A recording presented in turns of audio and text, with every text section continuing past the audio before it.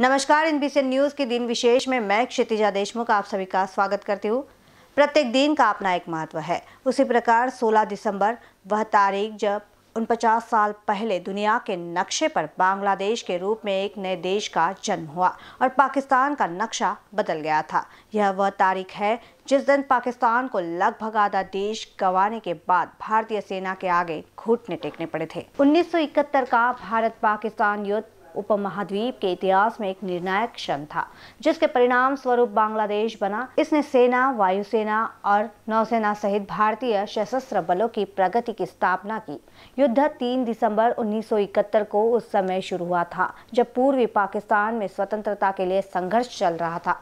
यह युद्ध तेरह दिन बाद 16 दिसंबर को पाकिस्तान सेना के बिना शर्त आत्मसमर्पण के साथ समाप्त हुआ।